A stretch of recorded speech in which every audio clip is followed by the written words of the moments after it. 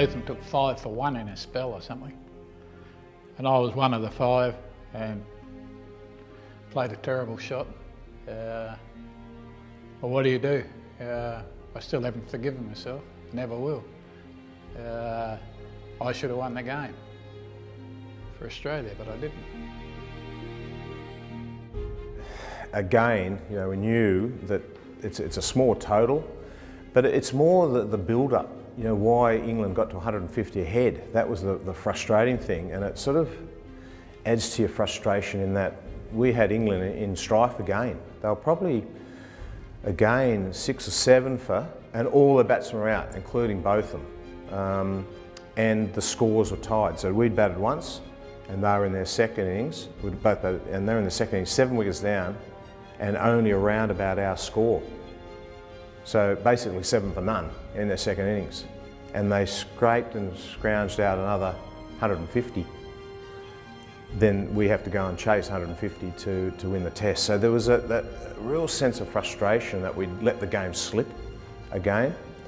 So yes, leading into our second innings batting, um, we knew it was going to be, be hard work.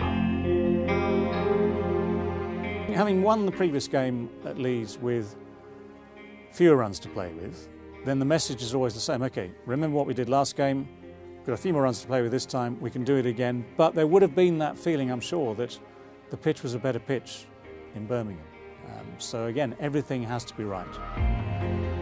We were cruising along um, reasonably well. I, I, can remember batting myself with uh, Graham Yallop, and uh, so we're only, I think, three for you know, pretty close to 100.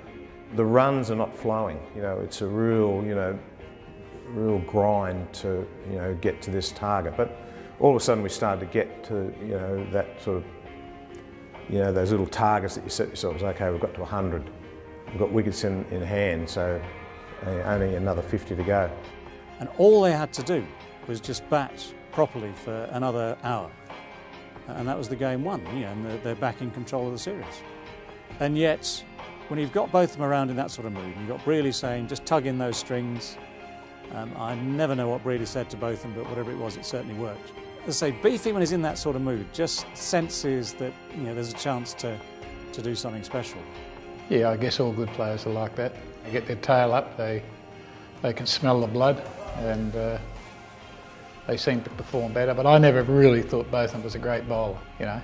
And I suppose uh, silly me for uh, not thinking he was that good. It was Alan Border got out to uh, John Emburey, I think it was, turned and bounced from nowhere and gloved it, and I think it might have been Gatt, who's usually at short leg, took the catch. And that's well bowled. Out of a bit of rough stuff there. Border is gone for 40. And then Mike Brearley uh, suggested I bowl before that, and I said, when you took the wicket, I said, right, I'll have a go now. I think this is the right time. Five wickets left, 37 needed to win, and Brearley's brought Botham back to bowl at Marsh. Bowled him. 114 for six.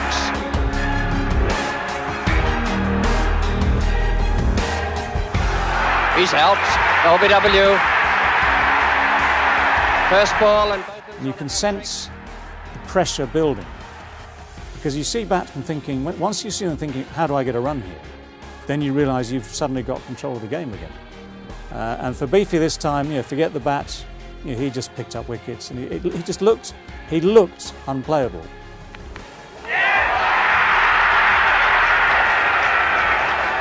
but the ball, we got it reversed and we, we didn't uh, realise what we were doing. It just suddenly you think, well, why is it doing that? And the reverse, the science of reverse swing came um, a little bit later. Botham again to Kent. And he's bowled him, and that surely is going to be it.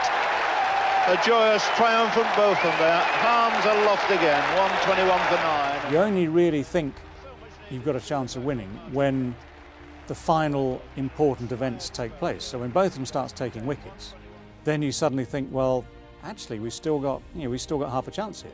What people have to remember, and I think if you ask the Australian players, the thing that they'll tell you was the crowd, the atmosphere. It was chocker, and it's, called, it's not called the Bull Ring for no reason. And they were right behind England. The noise was deafening. As soon as I started running the bowl, It just it went to a crescendo. It was amazing, absolutely amazing atmosphere. And I think, the, in fairness, the crowd probably got three or four of those wickets. That's it this time. He's made sure he's taken five wickets. He grabs the stump, and another memorable victory for England. It's history. He, you know, within a blink of the eye, you know, he'd taken five for none, five for one or something. We were, we were game over. England are running off the field celebrating, and, and another game has um, you know slipped us by. Just uh, you know, real gut wrenching stuff um, to be sitting in the dressing room under those circumstances. It, was strange the pitch actually because it didn't look bad and it didn't play badly, um, and yet for some reason everyone kept getting out. Um, you know, both teams. No one, no one made a big score either, either way. I don't think. It's one of the most amazing things. You know, Birmingham is notoriously a good batting pitch, and for no one to make a, a 50 in that Test match, bowlers must have bowled very well. You know, it's a quiet dressing room. You, no one knows quite what to say. Um, you know, you might have post-mortems later on, but at that time, you know, we just we just knew that uh, we'd let another game pass us by. I mean, sure they, they could bowl, uh, uh, but you know you shouldn't get bowled out uh, for that sort of. It was bad batting. You know, the batting just again let us down. Uh, so that was. So as a batsman, you sort of take it a bit personally that you know, you, you know, as a group we couldn't get 150. You know, it's just not good enough. And there's not much you can do about it now, unfortunately. It was a long time ago, but uh, I, I, still, as I said, I hate talking about it because it's painful. He had confidence and bravado and uh, he backed himself. And look, he, he, was a, he was a superb player. We, we respected him very highly. But in saying that, he was one of those bowlers that attacked you and you felt you could attack him back. That's it this time. Uh, I hit the stumps a few times, so something was right. It, it was just, it was, it was a terrific series to play in, if you're English. I mean, every time you go to England, you hear enough about it, and I go to England quite a bit, so you know that's why uh, sitting in a dressing room in Australia, I don't like talking about it my choice because it really finished the match. Botham.